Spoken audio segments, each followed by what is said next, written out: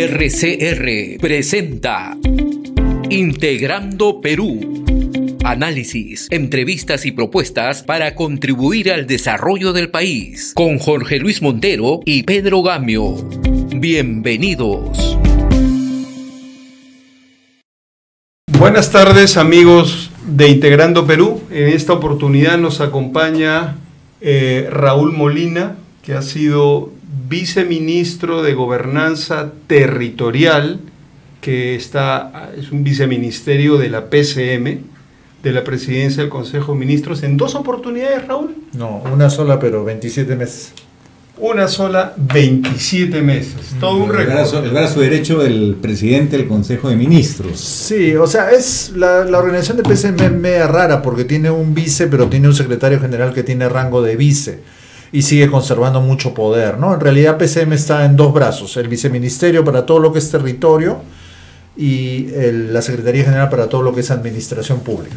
Voy, voy directo al grano, porque tú eres una persona con experiencia en la relación con las regiones, en la relación con los conflictos sociales que hacen que el Perú no tenga las condiciones de gobernabilidad y que generan una preocupación en la inversión, que dice Perú tiene un marco jurídico atractivo, pero a la hora que empiezas a trabajar un proyecto te encuentras con una muralla gigantesca que es que no basta el decreto supremo o el contrato firmado, hay un tejido social que está en constante efervescencia y que puede hacer que una decisión de gobierno se vea frustrada.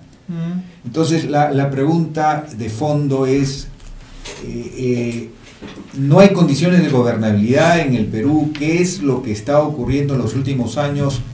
¿Por qué no podemos eh, eh, lograr priorizar la gran minería, la que respeta parámetros ambientales, la que puede hacer una alianza con la población a partir de una hoja de ruta con beneficios tangibles como nunca antes se ha tenido? ¿Por qué no somos capaces de eh, sacarle el jugo a esta cuarta revolución industrial que no sabemos cuánto tiempo va a durar? Porque hoy el cobre es protagonista, pero no sabemos si en 10 años va a seguir siéndolo.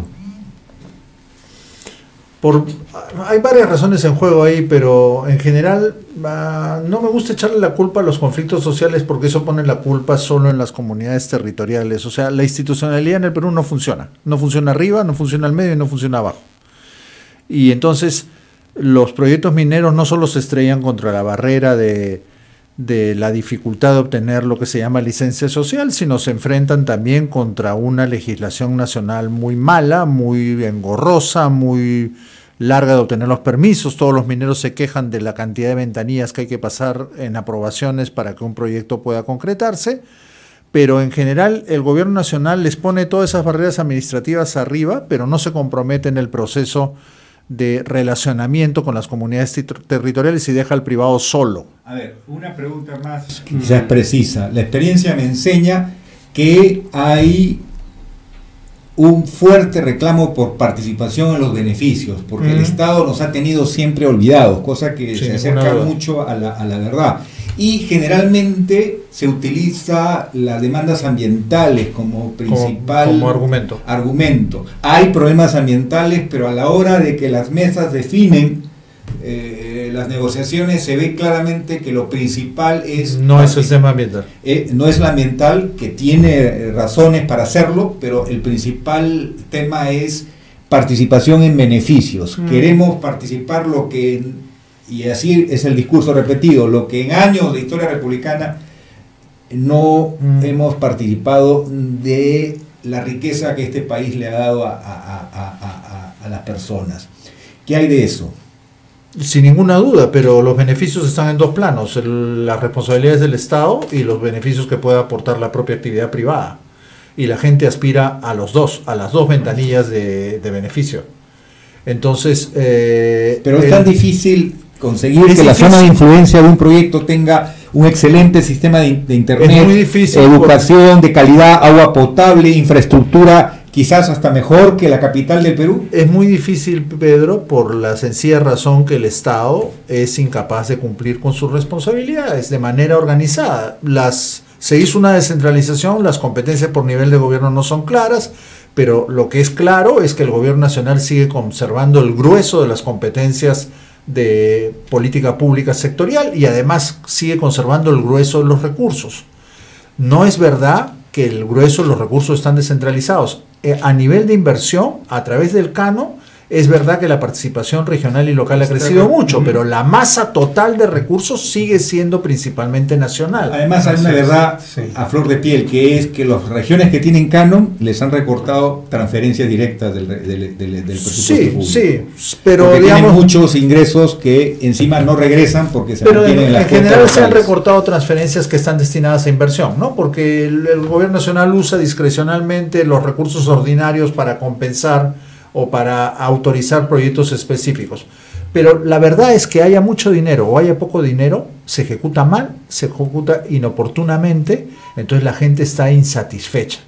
La gente ya está harta de la frustración de un Estado que no cumple. Entonces, ¿qué hace? Voltea donde el privado. Al privado lo tiene cerca, lo agarra del cuello, lo pone contra la pared y le dice, tú me vas a dar lo que él no me da. Entonces, como saben que el privado puede ayudar en algunas pues, obligaciones de infraestructura, pero no puede sustituir totalmente al Estado, lo que quieren es acceso directo a la renta. Entonces, cada vez más el objetivo de negociación no está siendo obra pública, no está siendo proyecto de desarrollo, sino dinero. Acceso Eh, directo ese es a el la problema. renta, pero Eh, es, más fácil, es más fácil entregar una cantidad enorme, perdón Jorge, enorme de dinero que llena los ojos de los dirigentes que están en plena negociación, pero ahí está la Pero responsabilidad. eso no garantiza Estado. bienestar para la La población. responsabilidad del Estado está en decir, vamos al tema de fondo, no a ilusiones falsas. Sí, pero Entonces, por eso lo que algunos estamos proponiendo, y ese es un trabajo que acabamos de terminar con Carolina Trivelli, Paola Bustamante y Darío Segarra, que se presentó en Perumín, se iba a presentar la publicación en IMP hace unos días, pero se ha postergado para enero, que lo que propone es que lo que necesitamos es poner en el centro de la mesa el concepto de desarrollo territorial. Y el desarrollo territorial, por definición, es un desarrollo responsabilidad de todos. Sector público, sector privado, sociedad civil y un gran ausente que es el sector del conocimiento. Mucha gente lo llama academia, yo prefiero llamarlo el sector del conocimiento porque no solo son universidades, son las consultoras, son las ONG, son los institutos de investigación que no estamos participando directamente en ofrecer salidas instrumentales para empujar los procesos de desarrollo. ¿Y cuál es la base del proceso de desarrollo territorial como un, eh, un esfuerzo, responsabilidad de todos? Es lo que se llama gobernanza territorial. ¿Qué es la gobernanza ter- territorial? Es la construcción de relaciones institucionales, de colaboración entre los actores para empujar juntos el proceso de desarrollo. Hoy día no hay ningún incentivo desde el gobierno nacional para que las sociedades territoriales, sus gobiernos y las empresas privadas puedan organizarse para con la cantidad de recursos que hay a nivel local, por Canon, por Foncomún, hoy día por Foncor. Si no saben, hace poco el Congreso dio una ley del Foncor igualándolo al Canon por dos puntos de IGB y los gobiernos regionales en cuatro años van a cuadruplicar su plata de inversiones. Hoy día el presupuesto de inversión de los gobiernos regionales es tres veces más que hace dos años y el próximo año va a volver a crecer. cuatro veces más. Sí, el próximo año va a ser más o menos 8 mil millones entre todos. Es un montón de No plata. es poco dinero. No es poco dinero, además de los que ya reciben Ujú. Canon. Entonces, la pregunta es cómo organizamos que esos recursos rindan lo máximo posible para el desarrollo del territorio. Mi hipótesis es que no podemos poner esa responsabilidad en una sola chimba. Porque como tenemos muy pocas capacidades, cuando lo ponemos en manos de una sola, de un, de una sola entidad, un solo actor, en general los recursos se pierden. Yo creo que el sector privado mayor, el sector privado formal, minero, puede tener un rol mucho más activo en esos procesos de gobernanza territorial, rompiendo sus muros. Pero hay un antecedente, el aporte voluntario en minería fue un éxito, a pesar de que no participaron todas las empresas, Pero participó se la mayoría. mucho más. Pero ¿qué, qué aportó? La empresa aportó los técnicos, hicieron los proyectos, el Estado facilitó, facilitó el proceso y la población se puso de acuerdo en la empresa en qué era lo que quería y qué era lo que necesitaba. Y la gestión no se hacía en Lima, se hacía en terreno y las empresas pusieron en juego lo que yo llamo sus capacidades diferenciadas. La mayor parte de las empresas mineras formales son empresas globales. Pero el Estado financió la obra, el proyecto lo hizo a la empresa y se ejecutó y la población estaba contenta. Exactamente. Entonces, eso te dice, Pedro, que el asunto es un proceso de colaboración creciente entre los actores. Eso no se va a construir por arte de magia, hay que, hay que poner en juego un proceso de aprendizaje. hay que hacer que los gobiernos locales, yo he sido funcionario municipal en los 90, en esos años que no había canon, no había Foncomún, nos las arreglábamos y los gobiernos locales que prosperaron, Hilo, Cajamarca, Villa El Salvador, algunos del Cusco, fue porque sus autoridades locales tomaron el liderazgo del desarrollo del territorio.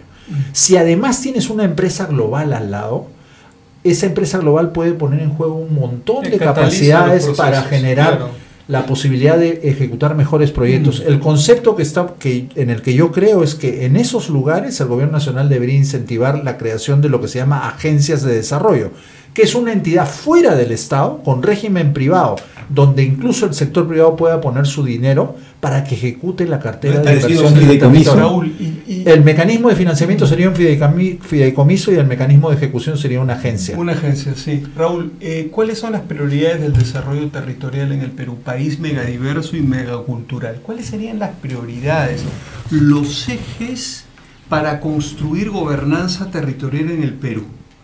O sea, desarrollo territorial, los ejes para desarrollo territorial son distintos que gobernanza.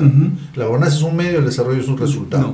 En desarrollo territorial, yo creo que lo primero que tenemos que asegurarle a la población de las áreas donde opera la minería es el combo de servicios básicos. No basta poner agua potable, no basta poner electricidad, no basta poner internet. Hay que poner los cuatro servicios, agua, saneamiento, electricidad e internet. Ese es el combo básico.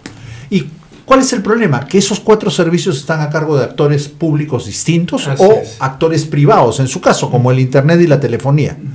Entonces, el agua potable es un desastre, porque en Lima es una empresa pública nacional, en provincias son empresas municipales, cuando es más chiquitito es un departamento técnico de la municipalidad. Hay que empaquetarlos. Hay que empaquetarlo y alguien tiene que asumir la coordinación para que ese paquete funcione. De los cuatro. De los cuatro. Y eso no significa que lo tiene que hacer el MIDIS. El MIDIS tiene que poner los incentivos para que las municipalidades y los ministerios que tienen la responsabilidad de hacerlo lo hagan. Pero hay una dificultad. Por ejemplo, el ingreso mayor que genera la presencia de un proyecto minero es eh, el canon. Y el canon con la depreciación acelerada eh, lo ves recién al año 10 de desarrollo de un proyecto. Apurímac acaba de comenzar a recibir Canon hace dos años, cuando Las Bambas está operando hace seis Entonces, eh, ¿qué población va a esperar 10 años o 12 años para recién ver Pero eso es elemental lo que yo le decía cuando fui vice a mis colegas del Ministerio de Economía y Finanzas y no entendían. ¿Quién decidió dar el beneficio de la depreciación anticipada? El Gobierno Nacional para promover inversiones. El que da el beneficio asume el costo. Tú no puedes quitarle el canon porque tú decidiste dar representación anticipada a los territorios. Lo financias tú, el canon. Entre tanto. Entonces, ¿cuál fue la solución del MEF? Ah, entonces les presto el dinero. No, te lo tienes que prestar tú a ti, porque el que dio la depreciación anticipada fuiste tú, MEF, no fueron ellos. ¿Acaso tú les preguntaste su opinión, su opinión sobre la depreciación anticipada? Si la ley dice que reciben canon, cuando se explotan recursos naturales en su territorio, deben recibir canon desde el primer año. Si el gobierno nacional da un beneficio de presidencia anticipada, quien financia esos años debe ser el nacional, que tiene más espalda para poder hacerlo. Y este desorden conceptual que tenemos Pedro ha mencionado este, el aporte voluntario como una cosa que funcionó bien y la desarmamos. Y por ahí sale el doctor Raúl Molina con una excelente idea, con las cosas muy claras. Empezamos a armar las cosas y alguien vendrá y lo vuelve a desarmar para volver al mismo caos, al mismo desorden y la gente mirando el peloteo y al final del día haciendo lo que tú dices. Bueno, pues si nada funciona, agarro al minero del cogote y le digo, bueno, este, nada personal, estos son negocios. Exactamente. ¿Qué pasa? si dejamos, si dejamos que eso siga creciendo, José Luis, Jorge Luis, eso va, lo que va a generar es que la minería se va a volver insostenible. Insostenible. Ya está siendo, hoy día todas las inversiones grandes están paradas, están esperando, porque el problema no solo, es no solo es gobernabilidad territorial, Pedro, es todo el clima, la pampa que se está armando a nivel de institucionalidad nacional, ¿no? Entonces, eso es lo que está retardando y todo el mundo está mirando, pero en algún momento, si no recuperamos la capacidad de empujar los proyectos, y lo digo, yo no soy un prominero, yo lo que creo es que mientras que el Perú no diversifique su economía, nuestra nave nodriza para generar ingresos públicos es minería legal. ¿Tenemos que hacer una minería legal que respete el medio ambiente? Es verdad, tenemos que hacer una minería, pero hoy día el issue principal, el, el desafío principal no es el tema medioambiental en las empresas grandes.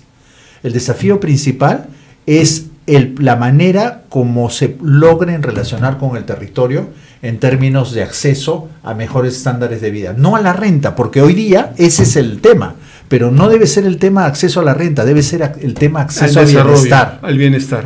Y como eso no se está logrando, la gente ha dicho, entonces resuelvo mi corto plazo, dame un cheque. Y te pongo contra la pared porque sé que yo tengo el poder no dejarte trabajar. Ujú. Entonces, tenemos que resolver eso y yo creo que el gobierno nacional es el gran irresponsable en este, en este gran desafío. Las empresas privadas están discutiendo el tema de desarrollo territorial. Hay varias de ellas que están dispuestas a avanzar un paso más allá de la responsabilidad social empresarial, del ESG Ah, y sí. todos esos paradigmas que están más basados en, la, en la evaluación de riesgos de la empresa. Están dispuestas a aprobar, pero si no se sienten acompañadas por el gobierno nacional, el asunto no va a funcionar. El ¿Por gobierno qué, por qué se maltrata tanto a una institución? Se maltrata en el sentido de que está en una nube, hace documentos interesantes, pero no se logra poner en el día a día el planeamiento estratégico. Hablo de ese plan. Ha habido importantes cabezas intelectuales de mucha calidad, eh, recuerdo al ingeniero Aguataz, por ejemplo, que han hecho aportes importantes. Eh, el hecho de que cualquier ciudadano pueda conocer y acceder a, a quienes han nacido con los kilos menos para un desarrollo humano pleno y, y la urgencia de poder tener en tiempo real esa información para atacar el problema de la anemia y la desnutrición, ya no ir a ciegas a buscar a dónde está la anemia y, y dónde está la desnutrición. El, el planeamiento estratégico, ¿por qué no es eh, eh, eh, el ABC de la gestión del país? ¿Por qué seguimos en pleno siglo XXI improvisando y rindiendo un culto al poder como que la persona que ejerce la presidencia de la República está iluminada? La mayor parte de casos eso es un grave error. Es simple, Pedro. El planeamiento en el Perú no lo hace el CEPLAN, lo hace el Ministerio de Economía y Finanzas desde la reforma de los 90. Y el CEPLAN no ha sabido, desde el comienzo, colocarse en el centro de la toma de decisiones para poder lograr construir un poder paralelo o equivalente que compensara al del MEF. Entonces el MEF es el que toma las decisiones.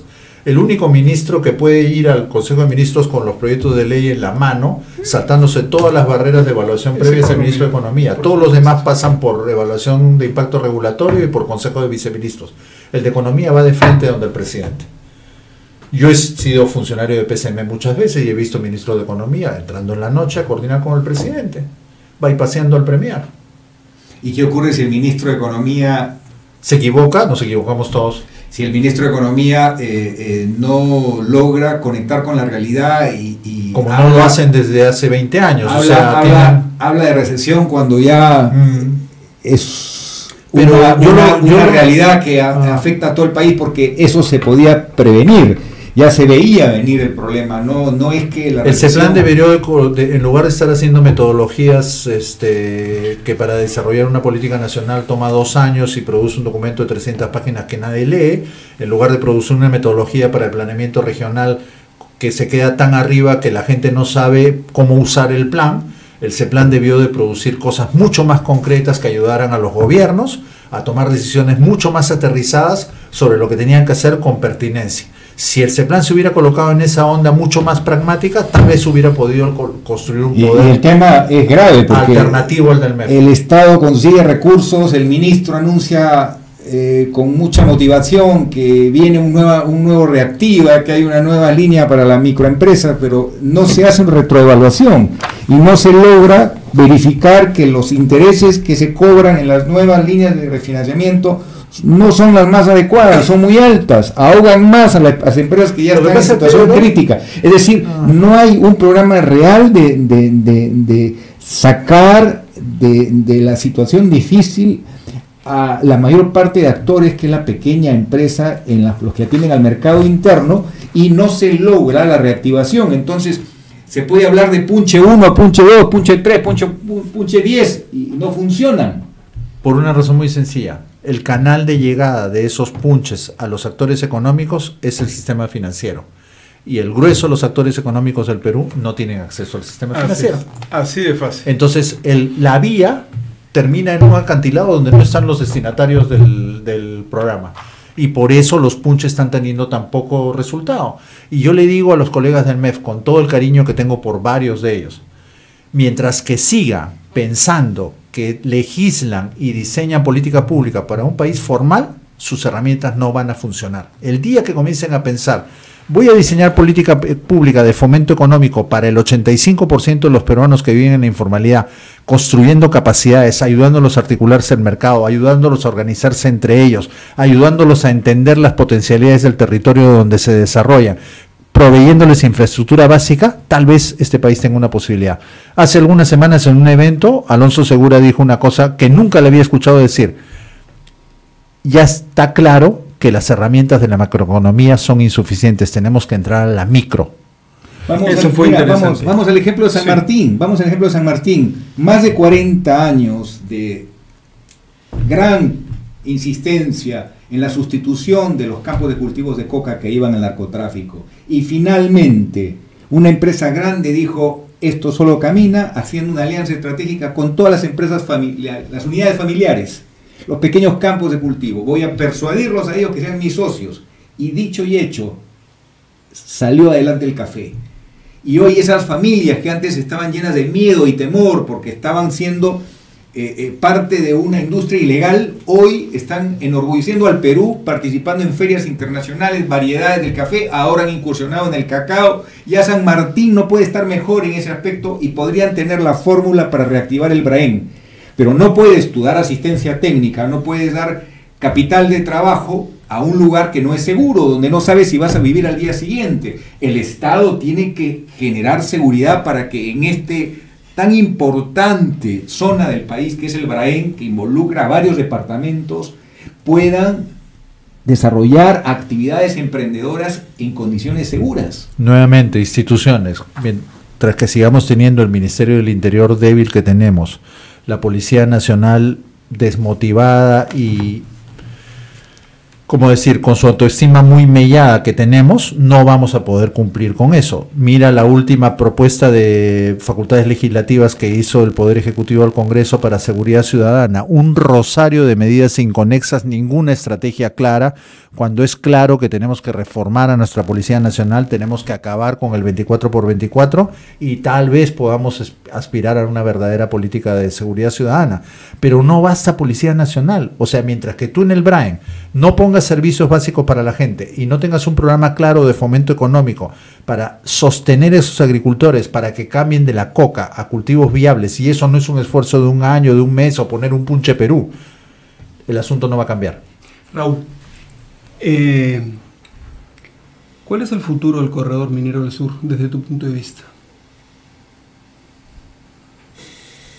Tienes 10 proyectos mineros ahí por venir imposible sacarlos adelante, esto es un desastre. No, sigue siendo el eje de soporte principal hoy. Puede dar más, que ese tema. Yo creo que en el corredor minero del sur y en varios otros lugares estratégicos en el Perú, el oleoducto no peruano. Sí, el propio Brian, el, gobierno nacional debería montar un diseño de gobernanza ad hoc para esos territorios donde se pusieran recursos específicamente dedicados a impulsar de manera integral el desarrollo territorial de esos territorios, no ejecutados desde el gobierno nacional, instalando algo parecido al modelo de agencias, pero con poniendo los incentivos para que los gobiernos regionales y las municipalidades, junto con el sector privado que está localizado, dirijan esos organismos de ejecución con plata público-privada si logramos diseñar una base legal para que los privados puedan poner sus recursos con los que colaboran con el desarrollo, junto con el canon en una persona jurídica donde el privado tenga voz, probablemente el asunto. ¿Necesitamos ombudsman? No sé, o sea, puede ser la, la vigilancia, la supervigilancia puede seguir funcionando con la institucionalidad que tenemos. Yo creo que el, el core del asunto está que no tenemos una institucionalidad preparada para la ejecución.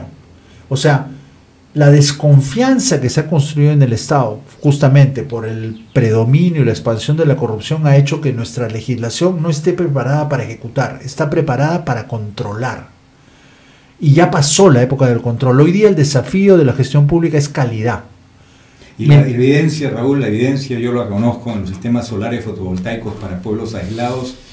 Tenemos buenos, malos y regulares. Los buenos son aquellos donde empresas privadas han puesto un equipo técnico comprometido que ha desarrollado capacidades locales y a través de fideicomisos se ha generado una cadena de valor que es sostenible, que se autoadministra, que no necesita llegar la camioneta de la capital del departamento, que no tiene presupuesto para esos costos. En cambio, la que maneja la entidad estatal no tienes los incentivos para hacerlo bien. Tienes que meter una mirada privada, incentivos privados en una institución que ejecute plata pública. Incentivos privados para ejecutar plata pública. y creo que el mecanismo eh, va más allá de OXI, de O por I o va más allá de APP. Es pon una instancia donde el privado y el público se corresponsabilicen. Interesante. Ya hay un ejercicio en chiquitito que tú debes conocer, pero esto de Tutanaim en Amazonas que incentivó el PNUD. Chiquitito, porque la escala de actividad económica ahí es pequeñita. Pusieron a un operador privado que ayude a las comunidades a que se relacionen con el mercado y comiencen a desarrollar ideas de negocio que tengan rentabilidad en el mercado. En esa escala chiquitita eso funcionó. No, es solo, una, hay no, es plata pública. Eh, se convierte en un capital social que tú lo monitoreas, pero no, no con el estilo público, sino con el estilo de los resultados. Y esos resultados te sorprenden porque estos actores locales, y un dato, cuando se empezó capacitando a los muchachos, no se tuvo éxito porque con el cartoncito migraban. Ah. Se capacitó a las mujeres madres y, se volvieron líderes del cambio social. Y se arraigó. En Brasil se han hecho cosas así mucho más grandes. Mucho más grandes. Raúl, se acabó el tiempito. Mm. ¿Te podemos tener en otra oportunidad? Sí, claro que sí. Para seguir conversando. tu tema es inacabable y de importancia central. Yo creo que si no abordamos esas nuevas rutas, nuestro país se va a ir paralizando poco a poco y va a llegar un momento que el problema de la pobreza va a volver a ser el problema central. Raúl Molina, muchísimas gracias por acompañarnos en Integrando Perú. Tenemos una sesión, otra sesión pendiente contigo, ya, ya coordinaremos. Muchísimas gracias. Bacán. Muchas gracias a ustedes, más bien. Hemos presentado Integrando Perú. Retornamos en nuestra próxima edición con más entrevistas y el análisis para contribuir al desarrollo de nuestro país.